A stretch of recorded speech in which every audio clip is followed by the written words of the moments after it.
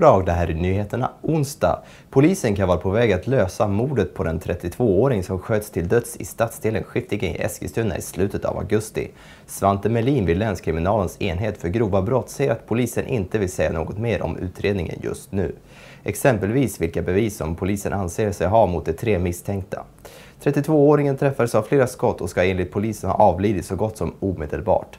Den nu döda 32-åringen var känd av polisen som misstänker att det rör sig om en uppgörelse bland kriminella. Mannen utsattes tidigare i år för ett mordförsök när någon placerade en bomb under hans bil. Eskilstuna kommun har nu tillsatt en ny chef på den avdelningen inom stadsbyggnadsförvaltningen där misstänkta stölder nyligen upptäckts. Tidigare nu i veckan så höll Eskilstuna kommun en presskonferens där man berättade att ytterligare en anställd polisanmäls för stöld och att man skulle göra en översyn på den aktuella avdelningen. Nu kommer beskedet att Mats Hellnäs tillträder som nytillförordnad avdelningschef medan Anders Enesved tillträder som tillförordnad biträdande avdelningschef. Det är stor skillnad i hur många som bötfälls för nedskräpning i landet. I Sörmland är det bara 19 personer hittills som fått betala 800 kronor i böter sedan lagen kom till för två år sedan. Betydligt fler fick böter för nedskräpning i Västra Götaland, 141 stycken och väldigt få i Jämtland och på Gotland med endast tre personer. Joakim Brodal på stiftelsen Håll Sverige Rent är kritisk och menar att lagen borde tillämpas oftare. Om ungefär ett år så är det val. Därför gick TV Eskilstuna ut och frågade Eskilstunaborna vad de tycker om politik och politiker. Det var givetvis olika åsikter om politiker och deras vandel. Vissa personer ansåg att det inte är något annat än en hög med bedragare som skor sig på skattemedel, medan andra ansåg att det säkert fanns politiker som skötte sitt jobb och efter bästa förmåga. Jag tycker att det är för mycket prat och för lite action. Ja, det är nog många som håller med där. Ja. Det, det är för mycket kriminalitet, för mycket orättvisor. Det, det, det, behövs att börja göra något istället för att bara ha en massa möten och debatter. Då får vi hoppas att de kanske kan ta lärdom här framöver. Ja, det får vi hoppas. Mm. Annars så tar eh, kriminella gängen och liksom, de tar ju makten. Mm. Ja, de tar över makten för de, de har action. Ja. Mm. Så var det ju förr. Ja, så hårdare straff, vapenlagar, bort med skiten.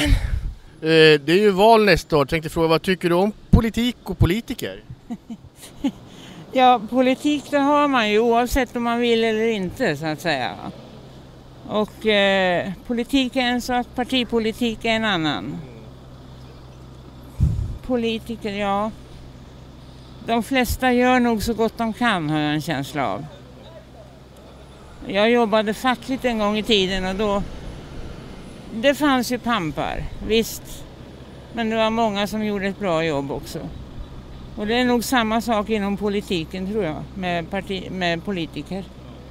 Ja, då tänkte jag fråga dig, vad tycker du om politik och politiker? Intresserar mig egentligen inte ett dugg och har inte sådär jättestort förtroende för dem heller. Men du tänker rösta? Absolut, röstar alltid. Ja du, vad ska man säga, lite varierande med dem. Mm. Men eh, en del är väl bra och hyggliga och kanske sanningsenliga, andra lite mera olika. Det varierar med dem. Mm. Det kan vara lite si och så? Ja, det gör det. Det är lite olika variationer på dem som vanliga människor. Men du ska rösta i alla fall? Jo, det gör jag nog. Jo då. Jag känner en som sitter i riksdagen nu och tar rösta på henne. Ja, det passar.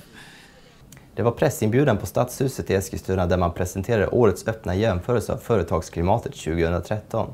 Det var Marit Finch Westin, näringslivsdirektör för Eskilstuna kommun, som höll i det hela. Eskilstuna kommun placerade sig i övre skiktet bland de kommuner som ingår i servicemätning som Sveriges kommuner och landsting genomför vartannat år. Undersökningen sammanfattas i ett NKI, nöjd kundindex, där Eskilstuna får ett NKI 70, vilket är att betrakta som högt. Denna gång har 189 kommuner deltagit i mätningen. Eskilstuna har det tredje bästa resultatet bland kommuner över 75 000 invånare. Enligt SKL spelar kommunens storlek roll för placering i rankningen. Och nu tar vi en titt på vädret.